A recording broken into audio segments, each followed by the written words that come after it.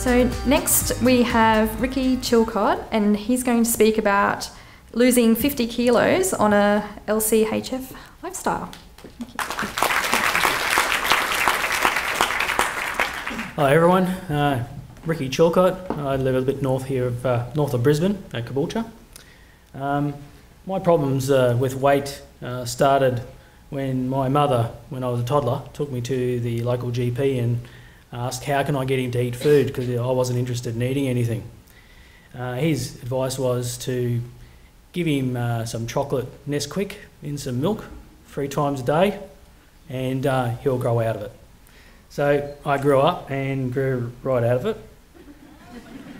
And uh, it led to me being uh, over 140 kilos in January uh, in, uh, last year, just after I uh, come along and seen Jimmy.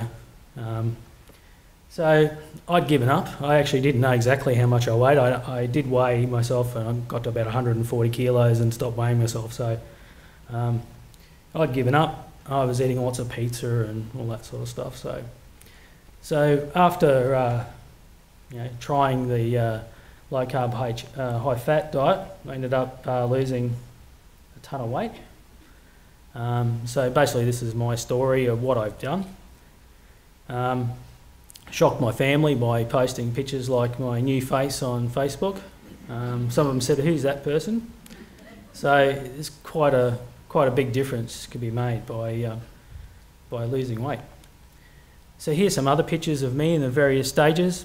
Um, two Movem different Movembers there, uh, two different years.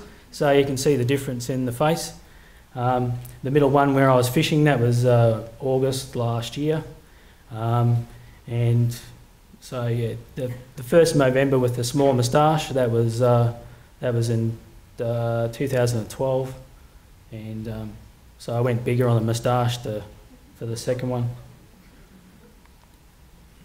Uh, one of my community activities is uh, working uh, with Army cadets. So um, the, uh, last year I wasn't a really good role model. Um, my son was an Army cadet, so I, as a parent, you go along and you get volunteered to do stuff and eventually end up running the place. So, um, but yeah, I, had, I, I was a, supposed to be a role model for young people and uh, you know, I wasn't a very good one. But this year, um, I look a lot better. So these are the sort of things I ate. Um, uh, not very much on the protein because you've got to moderate your protein. I found that over 100 grams of protein per day was probably a little bit too much. Um, uh, so, and the thing that looks like mashed potato is actually broccoli, uh, uh cauliflower. It's all mashed up. So, uh, and uh, the broccoli there. And to make it taste really great, I'll put lots of Tabasco sauce on it. So I'm not a much of a cook, so I like to keep it simple. So it's pretty much the same sort of meals all the time. I found that was the best way to, to manage my, my, my meals and my cravings. So I, I, I, developed my own formula, the one that worked for me, and I stick to it. So it's generally maybe some rissoles, bit of steak, um, maybe some chicken, um, and usually broccoli and cauliflower. Breakfast is always bacon and eggs. So for a couple of years now, I've been eating bacon and eggs for breakfast. Never miss it, and it does me until lunchtime. It's great. Uh, occasionally, I put a bit of avocado in it if I want to boost the fat content, and I always cook it in either butter or, uh, or coconut oil. The one on the right is actually um, probably about three lots of bacon and eggs, so it wasn't just for me.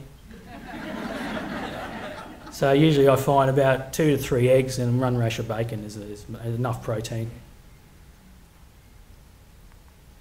Uh, um, I like curries and I used to have lots of rice. So um, what I ended up doing was uh, just steaming the cauliflower, like half a cauliflower, and just mash it up with the um, with the vet, uh, the uh, mashed potato masher, and I use that as the base to put my uh, nice curries on. So the curries are, um, are usually all cooked with um, coconut oil, bit of chicken, you know, chuck in a bit of curry paste and, and uh, that's about it. I, fly, I sometimes put a bit of uh, coconut milk in it as well. Uh, the one on the left that's got a, a pile of uh, silver beet or kale. I always chuck in like you know big gigantic big piles of it, and it steams down to nothing, and you get it's beautiful. Okay, for treats, I love pizza, and the pizza on the left here is a one made on a cauliflower base. So that's half a cauliflower, and uh, and then just uh, mushrooms and all that sort of stuff, bit of meat, and lots of mozzarella cheese. And you can't get a better way to eat half a cauliflower, I reckon. and of course, when you you're feeling down and you want a bit of uh, sweet, you know, dessert, you can't go wrong with some uh, raspberry jelly, low calorie, and some cream. So to be able to do it, you need to keep track of your, your ketones as well as your blood sugar. Um, after seeing what Jimmy had been doing, I went and got out one of these Optium Freestyles and, uh, and uh, tracked my uh, blood ketones uh, with the uh, hard to get sometimes uh, beta ketone strips. And for the first three months, I'd probably done it twice a day. So I keep track of them, keep track of both of them and as I, I tried different foods, I, uh, I adapted my what worked for me by using that. So I'm pretty much of a, a goal setter. So once I uh, got below 100 kilos, I decided I was going to uh, do something I thought was always a torture, and that was run. So I started the Couch to 5K program, and in March I did my first 5K on the beach at Bribie Island and I got 42 minutes. So I was pretty proud of that. Thank you.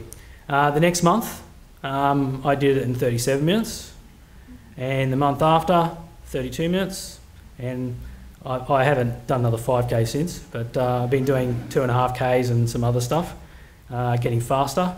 So hopefully, maybe next weekend, there's another 4k uh, run with the local running club I joined. I might have a go at that and see how I go.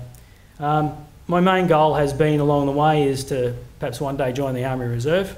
That's me in my suit on my way to the uh, to the interview, uh, and at the moment I'm waiting for an enrolment uh, enlistment date for us to be a rifleman for the Army Reserve. So at 47 years old, I'm doing something that I've always never never no one had ever dreamed I'd be capable of doing two years ago. So here's the graph of my weight loss. As you can see, it started pretty quick. I didn't really take uh, measurements weight uh, my weight until I was about around 135 kilos or so. So um, from there, I've lost 50, I'd lost 52 kilos by July this year. Um, it was pretty steady, uh, very quick at the beginning, and then tape it out. When I started doing exercise, it tapered out and slowed down. So uh, if you want fast weight, weight loss, I think forget about the exercise. Just concentrate on your diet, and then when you want to uh, start getting active, then it'll slow down here, I think, because you want to you'll crave more protein. So, anyway, thanks very much for that. Um,